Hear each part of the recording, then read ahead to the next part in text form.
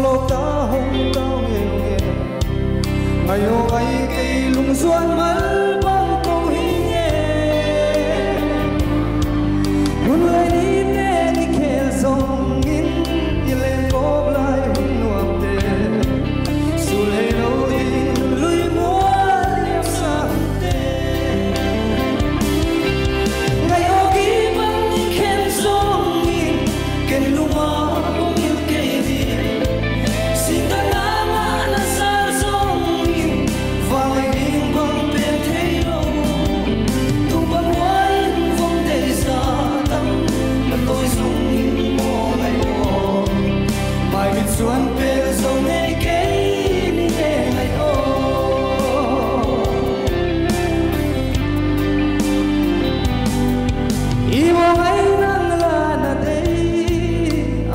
sambang sa hitya